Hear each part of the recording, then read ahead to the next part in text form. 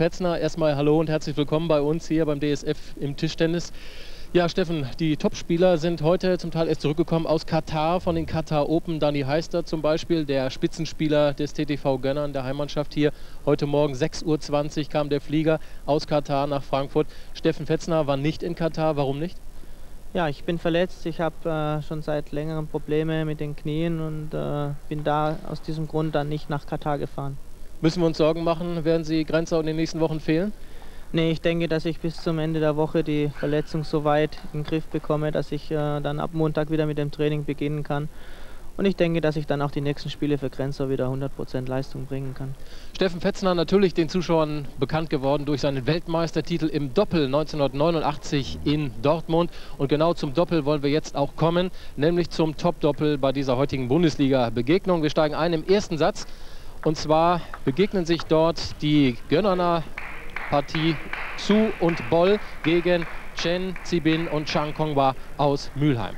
Wir sehen den Spielstand unten rechts eingeblendet. Das hier übrigens der Herr mit dem Stirnband, das ist Timo Boll, das 16-jährige Supertalent hier vom TTV Gönnern. Ja, Steffen, vielleicht sollten wir einfach mal zu diesen beiden Doppeln was sagen.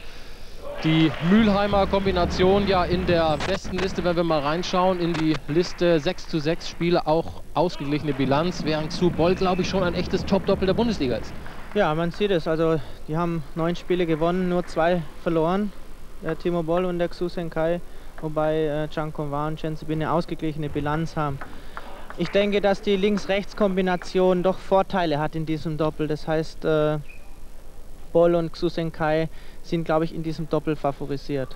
Das heißt Links-Rechts-Kombination, in dem Fall, weil Timo Boll halt Linkshänder ist. Die beiden Chinesen ja auch besonders deshalb äh, interessant, weil Chang Kong war ein Penholder-Spieler ist. Vielleicht sollten wir das kurz sagen. Ich hoffe, wir werden das dann gleich auch sehen. Äh, Penholder-Griff ja eine Schlägerhaltung, die nicht unbedingt üblich ist.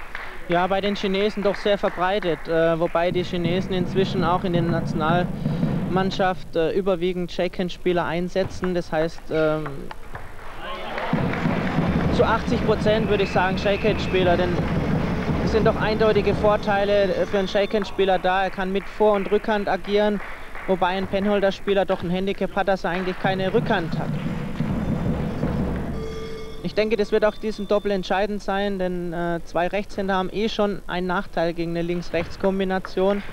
Und zusätzlich hat äh, Chang Kumwa noch äh, das Handicap, dass er Penholder-Spieler ist. Also das heißt, er kann seine Rückhand nicht so aggressiv einsetzen. Es war schon im Hinspiel eine relativ ausgeglichene Auseinandersetzung zwischen diesen vier Herrschaften. Chen Chang gegen Su Bol. Damals ging es 1 zu 2 aus, also für die beiden aus Gönnern. 21 zu 17 damals. Der erste Satz verloren für die Mülheimer. Dann gewannen sie den zweiten Durchgang damals 22 zu 20 und dann 21 zu 15 für Zu und Boll. Der entscheidende, der dritte Satz dieses Zusammenspiel, was ja nötig ist zwischen den beiden Spielern hier im Doppel, wird das eigentlich häufig trainiert im Training? Ja, man macht schon äh, vor dem Spiel einige Wettkämpfe auch im Doppel, denn äh, man muss sich eine gewisse Taktik auch überlegen gegen die verschiedenen Doppel. Aber insgesamt gesehen wird, glaube ich, in Europa äh, generell sehr wenig Doppel trainiert. Ich denke, da sind uns die Asiaten auch etwas voraus, die also sehr gezielt auch Doppel trainieren. Timo Boll, den wir jetzt hinten, jetzt gerade hat er wieder die Vorhand eingesetzt, gesehen haben. Das ist ja im Moment auch Ihr Doppelpartner, Steffen, in der Nationalmannschaft. Vielleicht sagen Sie einfach mal ein paar Sätze. Was zeichnet diesen doch jetzt unheimlich jungen Spieler besonders aus, der ja wirklich senkrecht, starterhaft nach oben gekommen ist? Ja, der Timo ist zwar erst 16 Jahre alt, aber er ist schon unheimlich abgeklärt im Spiel. Äh, er hat eigentlich keine großartige Schwäche in seinem Spiel auch. Er ist also mit Vor- und Rückhand eigentlich gleich stark. Ähm, er muss vielleicht noch äh, einiges lernen jetzt, was im, im taktischen Bereich liegt, aber wie gesagt, es kommt auch mit der Erfahrung. Er ist erst seit vielleicht einem Jahr äh, international dabei und er muss einfach äh, gegen die guten Leute so oft wie möglich antreten. Wir sehen das, das ist aber überhaupt keine leichte Aufgabe für die beiden aus Gönnern. 13 zu 11 Führung für die Mülheimer. Ja, man hat gerade gesehen, er hat also seinem Doppelpartner angezeigt, welchem Schnitt er den Ausschlag geben wird, äh, damit sich sein Partner auf den Rückschlag dementsprechend einstellen kann.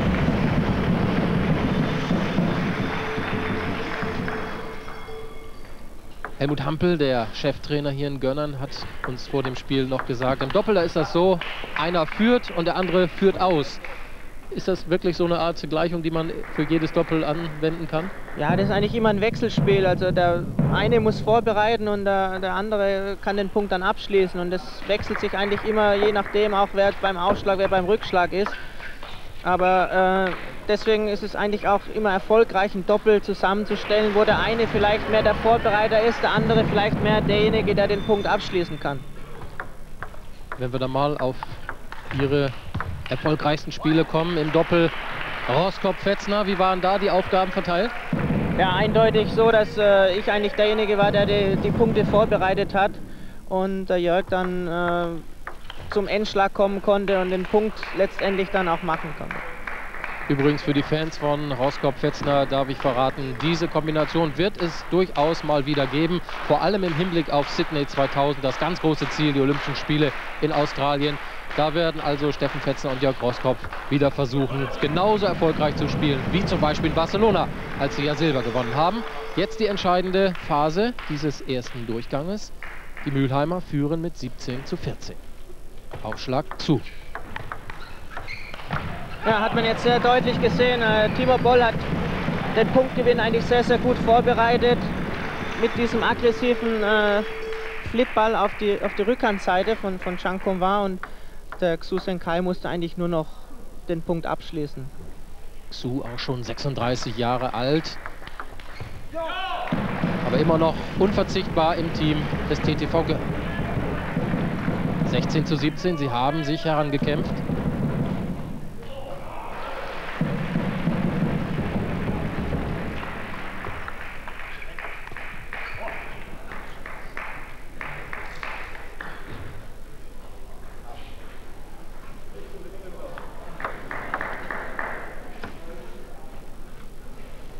Ja, der Schiedsrichter hat auf, auf Netzaufschlag erkannt.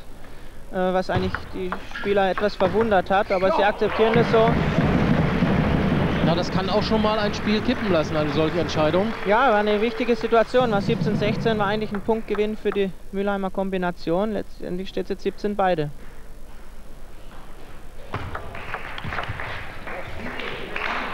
Jetzt aber wieder 17 zu 18 für die Mülheimer, die jetzt wieder Aufschlag haben. Also ein Vorteil, sicher auch im Doppel der Aufschlag, kann man das sagen? Ja, im Doppel ist der Aufschlag eigentlich nicht so entscheidend. Ich denke mal, jetzt äh, hat Gönnern den Rückschlagsvorteil, denn äh, Timo Boll als Linkshänder ist dann doch in, in, in der Situation jetzt bevorteilt. Chenzi Bin beim Aufschlag.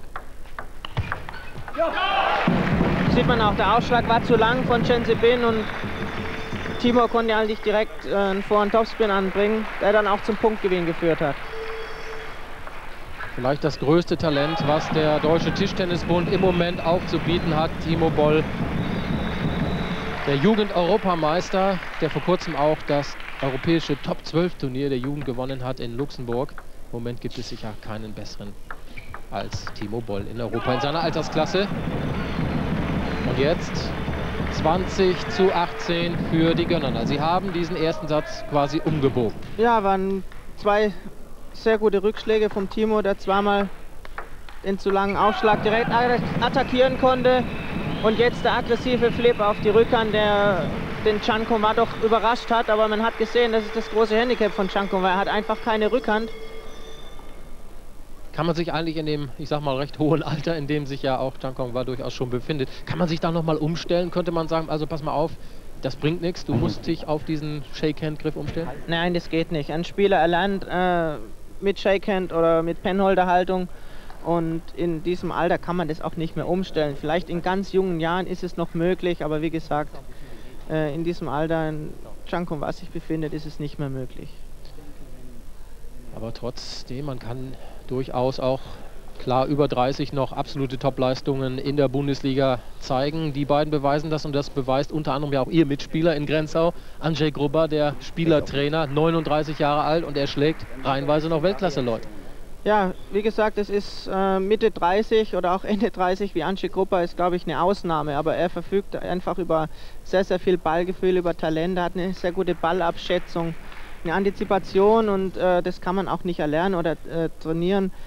Äh, bei den Chinesen ist es so, dass die einfach auch über eine sehr große Spielerfahrung verfügen und wenn man sieht, Chen, äh, war ja auch ein absoluter Weltklasse-Spieler, er war fünfmal chinesischer Meister und wenn man in China mal äh, Meister war, dann hat es eigentlich schon was zu bedeuten und er war ja auch in der Weltspitze ganz vorne dabei. Davon profitiert er jetzt natürlich immer noch. Jetzt aber wollen wir wieder zum Spiel kommen. Zweiter Durchgang in diesem Doppel nachdem Zu und Boll den ersten Satz mit 21 zu 18 für sich entschieden haben. Ja, man hat es jetzt schon wieder am ersten Ballwechsel erkannt. Die Gönner-Spieler versuchen natürlich die Schwäche von Chankova auszunutzen und versuchen ihn so oft wie möglich auf der Rückhand anzuspielen. Aber in dieser Situation hat er das eigentlich sehr, sehr gut gelöst.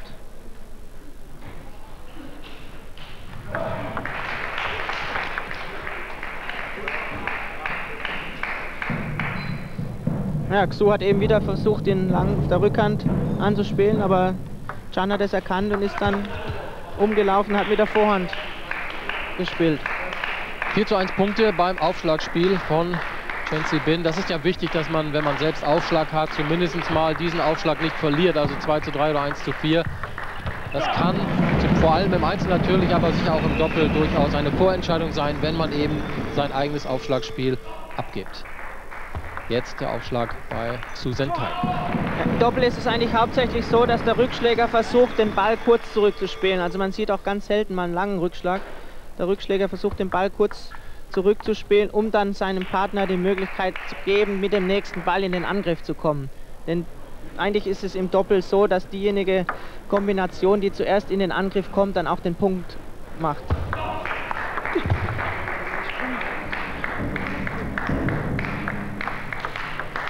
Da sehen wir mal hier vorne links den Penholder-Griff, gerade kurz bei Chankong gesehen.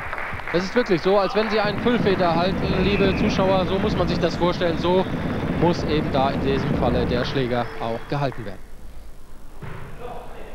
Der Penholder-Griff hat den Vorteil, dass er beim Aufschlag äh, dem Ball mehr Effet geben kann. Das heißt, er hat mehr Spielraum im Handgelenk und kann dadurch dem Ball beim Aufschlag speziell mehr Effet geben. Schauen wir mal hier hin bei dieser Aufschlagstudie von Xu. Was passiert da mit dem Aufschlag?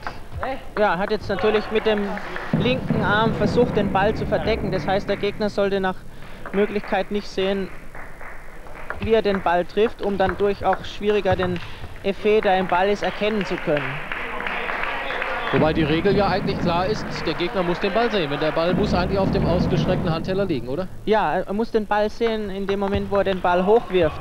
Es gibt aber eine Regel, dass der Spieler nicht mehr als 90 Grad zum Tisch stehen darf. Aber man darf trotzdem den Ball mit der Hand verdecken. Also das ist nach wie vor möglich.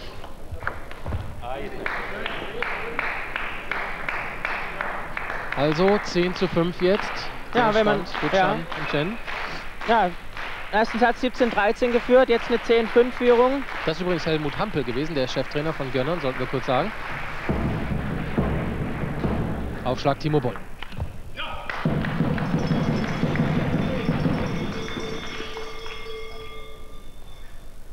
Um ihn herum würde in Gönnern, das wollte ich kurz sagen, Steffen, äh, um ihn herum, um Timo Boll, wurde in Gönnern diese äh, sehr erfolgreiche Mannschaft aufgebaut. Alle Spieler dieser Mannschaft wohnen in Timo Bolls Wohnort in Höchst im Odenwald und sicher eine Seltenheit, vielleicht sogar eine absolute Rarität im Spitzentischtennis.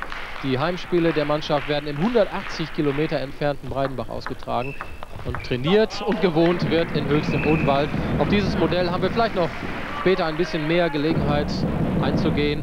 Auf jeden Fall ungewöhnlich. Aber man will, das hat uns Trainer Hampel ganz klar gesagt, man will hier um Timo Boll ein absolutes Spitzenteam aufbauen. Im Moment sind sie es ja schon. Wie gesagt, Pokalsieger, Finalsieg gegen Frickenhausen. Und der junge Timo Boll ist sozusagen die Galionsfigur hier beim Tischtennis in Gönnern. Um ihn herum wurde diese feine Mannschaft aufgebaut. Ich glaube, damit konnte man auch nicht rechnen, dass Gönnern so weit vorne steht in der Tabelle. Oder Steffen? Ja doch, ich glaube, Gönnern hat in der abgelaufenen Saison schon gezeigt, dass sie gegen jede Mannschaft bestehen können, auch gegen die Spitzenteams. Und haben sich jetzt in dieser Saison nochmal verstärkt. Timo Boll hat einen Riesenschritt nach vorne gemacht. Und Gönnern steht, glaube ich, nicht umsonst jetzt an, äh, auf dem dritten Tabellenplatz und spätestens, glaube ich, mit dem Pokal sie haben sie auch bestätigt, dass sie dieses Jahr auch in der Lage sind, ganz vorne mitzuspielen. Im Übrigen auch noch im internationalen Geschäft dabei, im ETTU-Pokal im Halbfinale. Da sieht es aber nicht ganz so gut aus. Das erste Spiel, glaube es war gegen Bad Honnef, Gegen Bad Honnef. wurde mit 4 zu 1 verloren. Hat man wieder gesehen, also äh, Susan Kai hat den äh, Chang Wa auf seiner vermeintlich schwachen Seite angespielt, auf der Rückhandseite und hat auch direkt den Punkt damit gewonnen. Links Chang war, rechts Zibin und hier also jetzt beim Aufschlag zu St.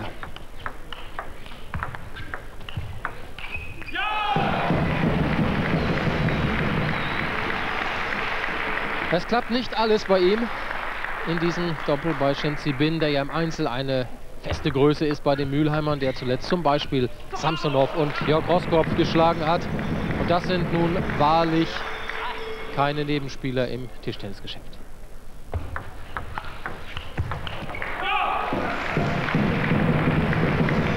Hat sehr gut reagiert vom Timo, hat äh, Ball in die tiefe Vorhand bekommen. Das heißt, es ist eigentlich jetzt in dem Doppel die unangenehme Position für ihn, wenn er ganz weit in die Vorhand laufen muss, aber den Ball sehr, sehr gut zurückgespielt. Führung jetzt wieder für die beiden Spieler der Gastgeber. Allerdings wird es wieder ein bisschen enger. 16-14 jetzt die Führung für Xu und Boll. Viele sagen ja, gerade in diesem Vierer-Mannschaftsspiel, wie das Moment ja praktiziert wird in der Bundesliga, die beiden Doppel, die können da schon eine Art Vorentscheidung sein. Und Frank Heggenberger, der Coach des Post SV Telekom Mülheim, sagte uns vor dem Spiel, also aus den beiden Doppeln, da wollen wir schon mit 1 zu 1 Punkten rauskommen. Und diese beiden haben fraglos die größeren Siegchancen. Zumindest erwartete man das vor Beginn dieses Spiels. Aufschlag jetzt wieder bei Chang Hongla. Ja, man sieht wieder, der, der, Timo hat sehr viele Ideen beim Rückschlag und die Mühlheimer können sich eigentlich überhaupt nicht einstellen, was passiert jetzt. Spielt er kurz, spielt er lang.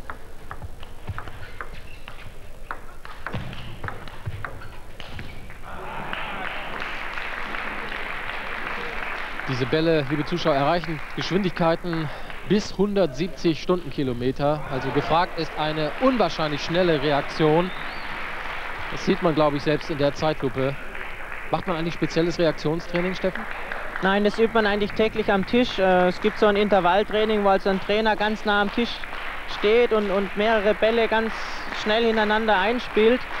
Äh, damit schult man etwas die Reaktion, aber wie gesagt, durch das tägliche Training automatisiert man die Bewegung derart, dass man äh, letztendlich dann im Spiel auch keine Probleme hat, die Bälle zurückzuspielen. 18 beide jetzt in diesem zweiten Durchgang. Es steht wirklich auf des Schlägers Schneide. War jetzt eigentlich ein einfacher Fehler. Der Aufschlag vom Timo war eigentlich zu lang, aber Bin hat den Ball über den Tisch gezogen. Ärgert sich auch dementsprechend.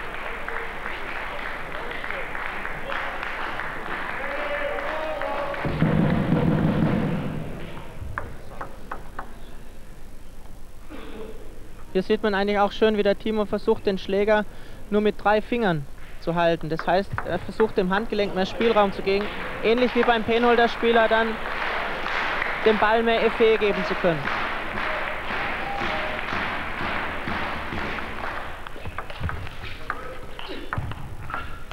Satzball jetzt für die Mülheimer. Und den vergeben sie. Ah, das wäre jetzt schon sehr wichtig gewesen, dass sie hier den Punkt machen, aber zunächst einmal abgewehrt dieser Satzball von Boll und Zug. 20 beide. Jetzt wechselt der Aufschlag bei jedem Punkt. Bespricht man sich noch mal kurz, was hat man vor, welchen Aufschlag macht man, welchen Rückschlag macht man. In solchen Extremsituationen ist es dann doch sehr entscheidend, dass die Abstimmung stimmt. Ja. Ich denke mal, der Xusenkai hat es vor dem Aufschlag dem Timo schon angedeutet, dass er ihm vielleicht lang in die Rückhand anspielen wird. Timo hat dann dementsprechend schon vielleicht in der Diagonalen warten können, aber hat direkt den Punkt damit gewonnen. Schuh beim Aufschlag. Und da ist passiert, tatsächlich 2 zu 0 in den Sätzen gewinnen zu Voll gegen Chen Zibin und Shang Kong Wa und verschaffen Gönnern damit einen wichtigen Punkt zum Auftakt dieser Bundesliga-Begegnung.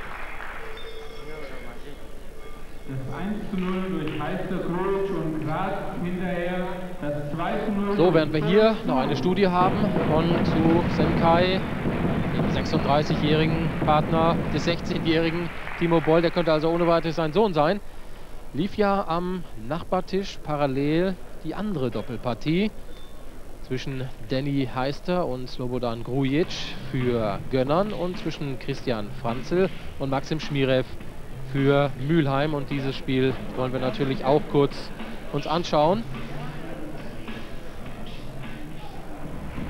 Hier sehen wir es.